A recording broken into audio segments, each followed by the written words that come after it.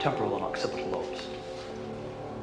On revival, What happened to this one? it was too unruly. I couldn't handle it. I had to destroy it. You